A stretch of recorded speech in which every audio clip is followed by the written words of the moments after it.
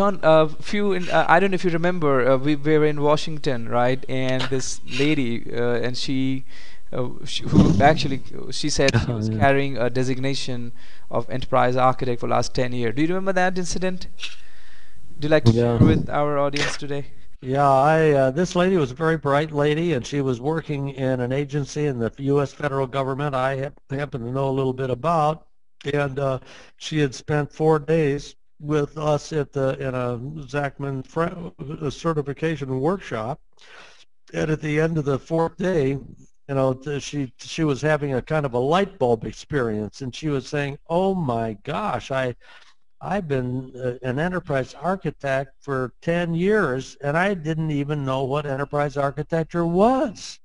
So it was kind of a relevant re- revelation for her uh, to uh, see, you know, when of course I make the make the argument, my framework is enterprise architecture, and if you're not doing the pr- producing these primitive models, you're not doing architecture. It's easy for me to say that, but it takes some experience, and we do uh, some exercise where people can have some hands-on experience with producing the primitive models and from then creating composite implementations. And after uh, after four days, the the lady was saying, "Oh my gosh, I, I get it here."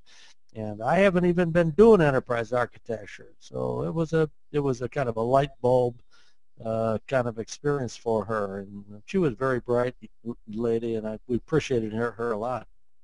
And and we had another uh, the funny experience where one of this CIO, uh, uh, you know, who attended your program a couple of maybe a decade uh, earlier, and he had sent one of his folks to your program.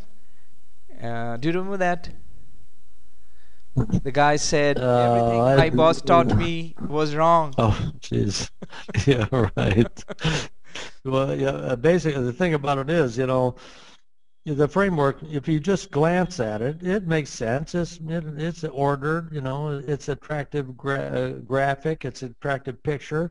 You can glance at it and say, oh yeah, yeah, that makes a lot of sense. So, but when you begin to understand what the implications of it are and to employ it from a practice standpoint, say, whoa, this is different than I heard or I thought. So that's just one illustration of that where the CIO had heard me talk for an hour or, or half a day or something and and uh, sent this the person to the workshop and uh, and, that, and, that, and then the, you normally the people who go to the workshop they have a light bulb experience around the third or fourth day they say oh my gosh I begin to see the implication of this holy smokes so what you're saying is that when you download your framework people are not able to visualize the applications of that they're only yeah, seeing it's like uh, you know, um, just to kind of get a point to all the, you know, uh, our audience right now for this who are watching, you know, it's pretty much like imagine uh, looking at the formulas given by Newton and then trying to visualize an aircraft. It's impossible. Uh, yeah, right. I'm like, by looking at his theories, you cannot visualize an aircraft. But as you start to apply, you will eventually reach there. I think something similar to what is happening to the people who download your framework and, and the theory of framework and then actually understanding the applications, the implications of that theory in act in in, in the world of the enterprise uh, engineering.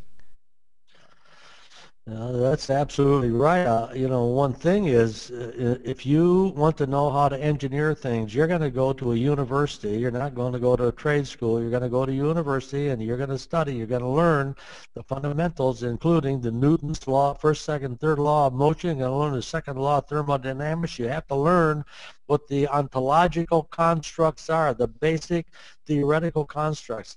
It was uh, uh Kurt Lewin that said, there's nothing so practical as a good theory.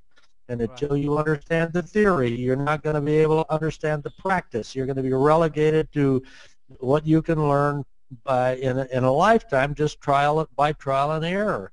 So you've got to go uh, learn what the theoretical constructs are, and then you can begin to become an engineer. Uh, so if you don't understand the theoretical constructs, you're not going to do engineering. You're just going to be a, you know, you'll build log cabins. You're not going to engineer 100-story buildings. Right. You're not going to be able to deal with complexity and change and so on. So, so what I mean, the, so, the experience in science is very consistent with what we're talking about. I believe that's where it's going. This will be enterprise uh, engineering and design is going to become a science. It's not just winging it, a practice.